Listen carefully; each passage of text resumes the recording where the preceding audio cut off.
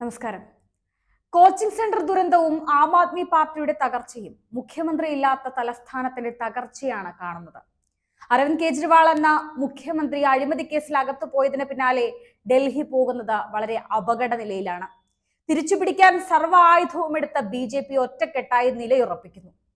രാജ്യസന്നദ്ധ അറിയിച്ച് പുറത്തു പോയാൽ ഡൽഹിയിൽ മാറ്റം വരും. അവിടെ ബി സ്ഥാനം കൈയടക്കും. ഭരണ സംവിധാനം കൃത്യമായി നടക്കും. ഡൽഹിയിലെ മൊത്തത്തിലുള്ള ഭരണ സംവിധാനം കഴിഞ്ഞ കുറച്ചു നാളുകളായി കഷ്ടപ്പെടുകയാണ് എന്നതാണ് വസ്തുത.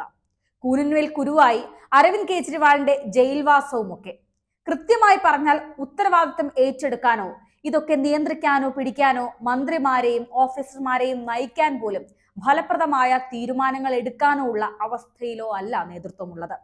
കേജ്രിവാൾ ഇനി പുറം ലോകം കാണുക എന്നത് വലിയ ബുദ്ധിമുട്ടാണ്. ജയിലിൽ നിന്ന് മുഖ്യമന്ത്രിയായി പ്രവർത്തിക്കാമെന്ന കേജ്രിവാളിന്റെ അനുമാനവും ശരിയല്ല.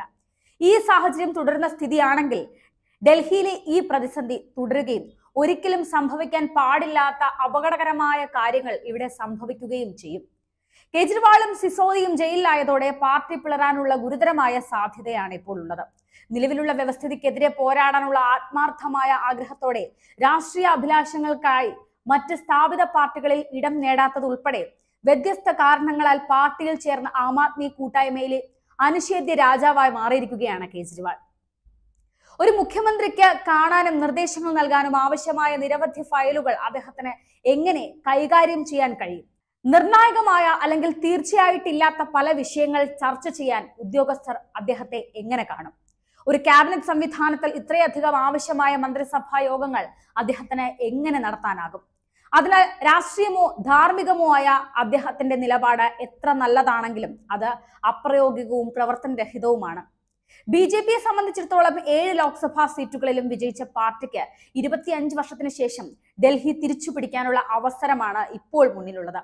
അധികാര കളികൾ രാഷ്ട്രീയ കുതന്ത്രങ്ങൾ എന്നിവയോട് ഡൽഹി പോരാടേണ്ട നാളുകളാണ് ഇനി മുന്നിലുള്ളത്. രാജ്യത്തിന്റെ തലസ്ഥാന നഗരിയായ ഡൽഹി അഭിമുഖീകരിക്കുന്ന ഭരണ സംവിധാനത്തിലെ കെടുകാര്യസ്ഥതയുടെയും നിയമലംഘനത്തിന്റെയും ഒരു ഭീകരമായ ചിത്രമാണ് ഡൽഹിയിലെ ഓൾസ് രജീന്ദ്ര നഗറിലെ സിവിൽ സർവീസ് പരീക്ഷ കോച്ചിംഗ് സെന്ററിലെ ദുരന്തം വരച്ചുകാട്ടിയത് കോച്ചിംഗ് സെന്ററിന്റെ ഭൂഗർഭ നിലയിൽ കുത്തിയൊലിച്ചെത്തിയ മഴവെള്ളത്തിൽ മുങ്ങിത്താഴ്ന്നത് സിവിൽ സർവീസ് എന്ന വലിയ ലക്ഷ്യവുമായി ഡൽഹിക്ക് വണ്ടി കയറിയ മൂന്ന് യുവാക്കളാണ്.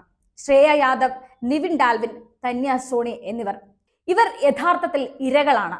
ലാഭക്കൊതിയന്മാരുടെ ഭരണകൂടത്തിന്റെ ഉത്തരവാദിത്തരാഹിത്യത്തിന്റെ രാഷ്ട്രീയ പാർട്ടികളുടെ നെറികെട്ട കളികളുടെയൊക്കെ ഇരകൾ. സ്റ്റോർ റൂം പ്രവർത്തിക്കാൻ മാത്രം അനുമതിയുള്ള ബേസ്മെന്റിൽ ലൈബ്രറിയും ക്ലാസ് റൂമും പ്രവർത്തിച്ചിരുന്നത് നിയമവിരുദ്ധമായിട്ടാണെന്നാണ് പുറത്തു വന്ന റിപ്പോർട്ടുകൾ. ഇവിടെയും രാഷ്ട്രീയ പാർട്ടികളുടെ പരസ്പരമുള്ള പതിവ് കത്തിയേറുകൾ കാര്യക്ഷമമായി അരങ്ങേറുന്ന കാഴ്ചയും നമ്മൾ കണ്ടു. ഉത്തരവാദിത്തം ബി ജെ പിക്ക് മേൽ വെച്ചുമാറുന്ന സിവിൽ ബോഡി നിയന്ത്രിക്കുന്ന ഭരണകക്ഷിയായ ആം ആദ്മി പാർട്ടിയുമല്ല മറിച്ചാണെന്ന ന്യായീകരണങ്ങളുമായി കേന്ദ്രം ഭരിക്കുന്ന ബി ജെ പിയും രംഗത്തുണ്ട്.